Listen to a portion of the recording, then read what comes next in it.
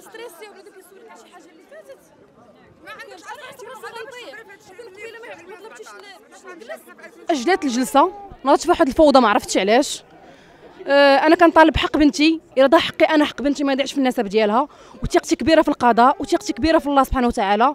وكنشكر هيئة الدفاع كاملين وأنا متمسكة بالدفاع ديالي.